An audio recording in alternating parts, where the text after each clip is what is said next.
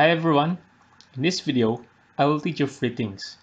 How to inject custom DLLs into EXEs, how to make windows unclosable, and how to decompile a Visual Basic or C-sharp executable. I will assume that you have no prior experience in reverse engineering, so this video will be as basic as it can get. However, you need to have WinRAR installed. These tutorials are provided by Random, whose tutorials have been re-uploaded by octopuslabs.io. Disclaimer, this video is for educational purposes only. I will not be liable for any harm done to and by you. Are we good with that? Now, let's get started with the tutorial. First, we'll learn about injecting custom DLLs. For this, we'll be using RADASM with MASM to create our DLL in assembly language, IID King to inject it into our application, and our target program, an innocent color picker. Download RADASM by going to this link. Once downloaded, extract that. First, let's install MSAM by extracting this zip file.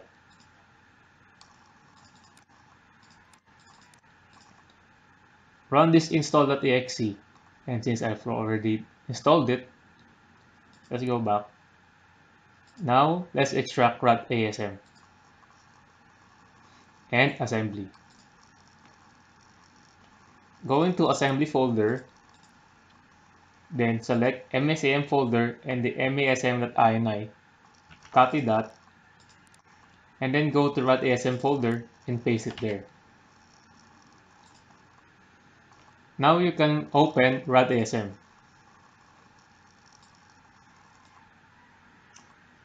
Now we need to add the MASM language to this assembler. Now go to Option, then Programming Languages. Click on the ellipsis button. Select the MASM.ini. Can open. Click on Add button. Then click the OK button to close the window. Now let's create a new project. Select MASM in the assembler. Select the project type type in the project name, click on the next button, click on next button again, deselect the INC in file creation, and back in the folder creation, click the next button again, then click on finish. Open the DLL injection 1.asm of our project. Now let's go back to our downloads folder. And download DLL injection message box tutorial using this link. Once downloaded, extract that. Open the folder, go to Files, and then go to Message Box. Open, right-click and open this in the text editor.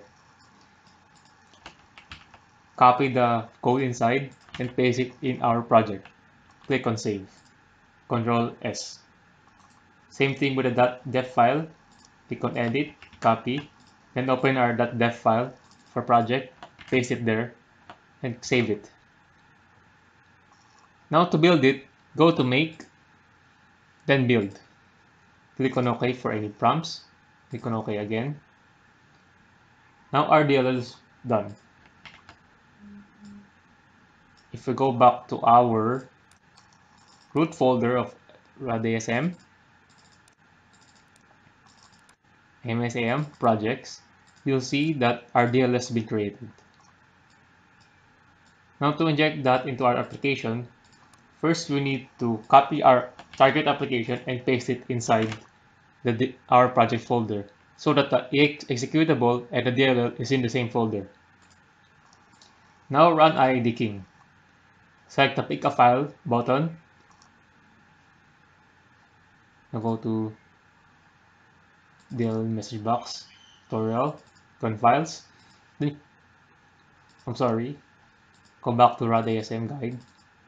Sources. Go to our project folder in MSAM, projects.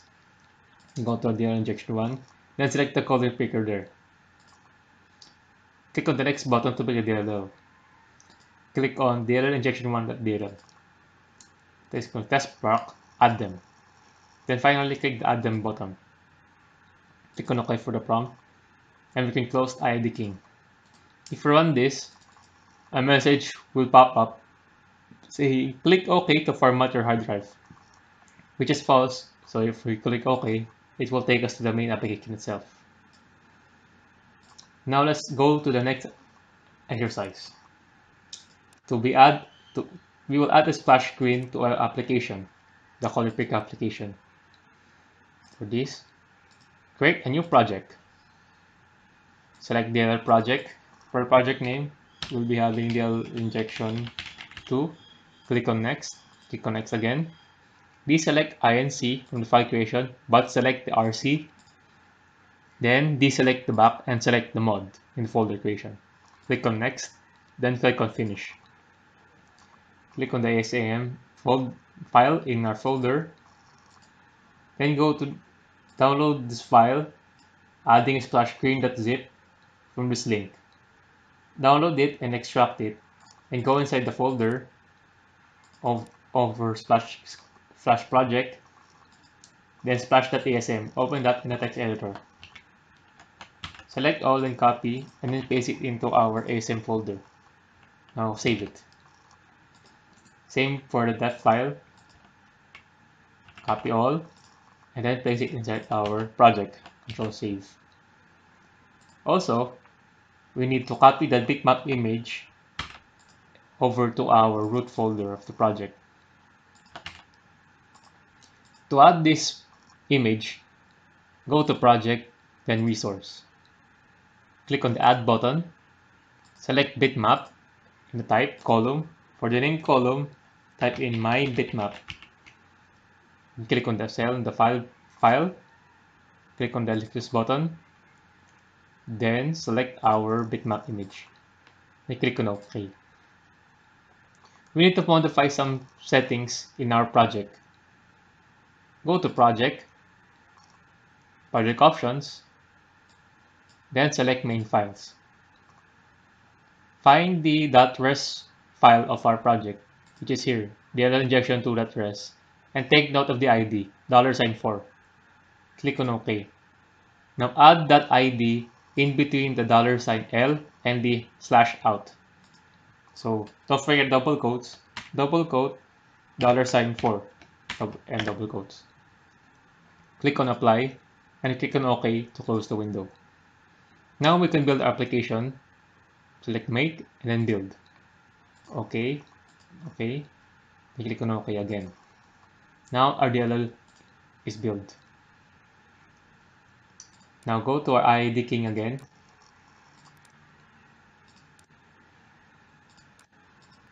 Go to our ID again.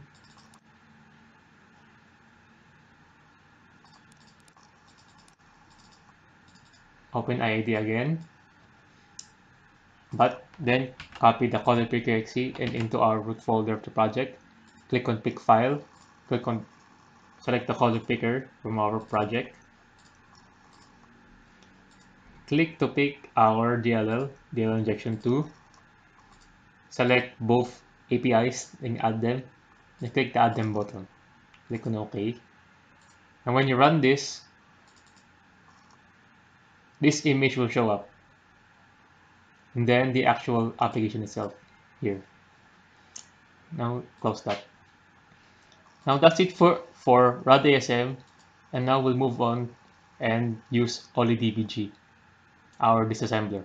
Now we can close that and IID king as well. Now you need to download OllyDbg using this link. Once downloaded, extract the folder, go inside, then extract randoms OllyDbg.zip folder. Inside this folder, we'll have the executable itself. Now we can run that. Click on offer any error messages. Then let's resize the window appropriately. Now for the next tutorials, we will be making windows unclosable. For this, download the files using this link. Once downloaded, extract those files, go inside. You'll see free programs. Run them all and they're all closable. For the first program, open it in OllyDbg, guru.exe. Then go to address 40103E. Press on spacebar to modify this code and replace the 3 with 203. Click on the assemble button. Click cancel to close the window. This will effectively make the window unclosable by disabling all close window functions.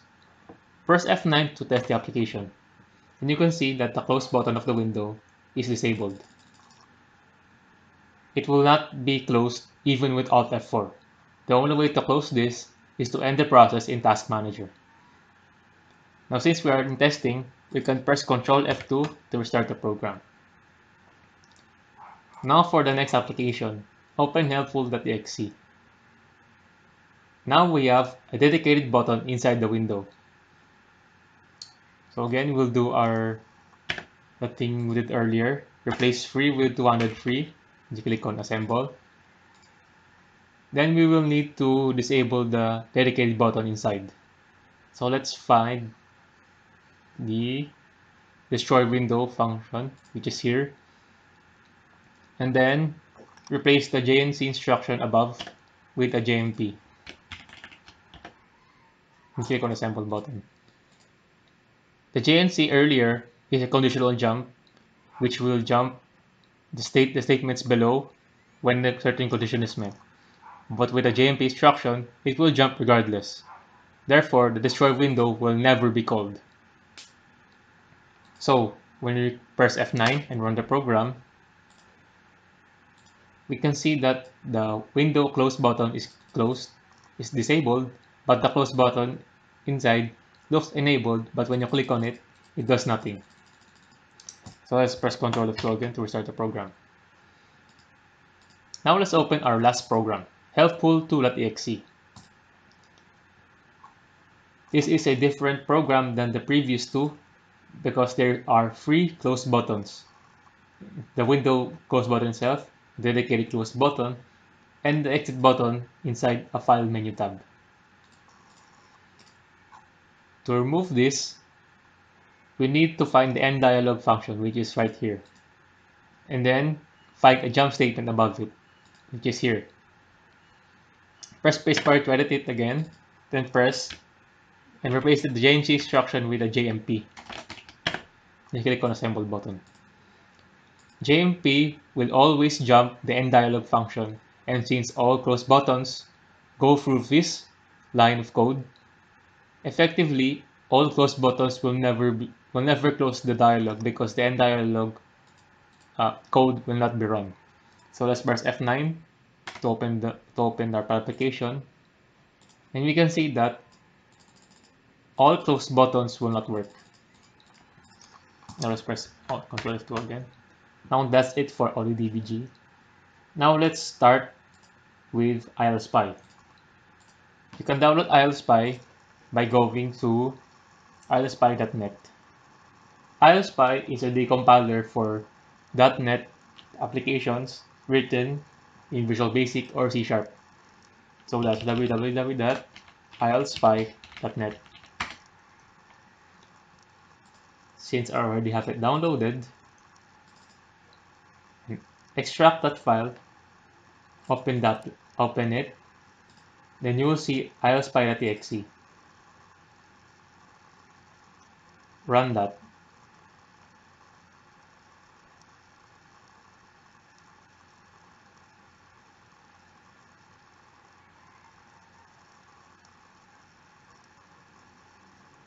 Now we have ILSpy up and running. Now we need to download the tutorial files by going to this link. Once downloaded, extract that and open the file. And here we have the crackme.exe. Let's try running it. You can see a code is prompted to be entered and we click on we enter any code and press check it button. It checks the code that we input. So let's find out what the correct code is. Go to File in ILSpy, Open. Then go to our CrackMe folder in the crackme.exe, open that. expand the program by clicking the plus sign next to the name. Then expand the main crackme function. Then go to the form 1 method body. Click on that expand button and go to button one click which I assume is the check button. To here, as you can see, use the decoded for decompiled source code. Here we can see the text box, sorry, here we can see the text box being compared to a hard-coded string. So if we copy that string and place it inside the application,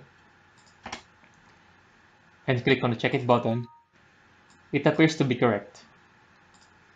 So that is all for this tutorial.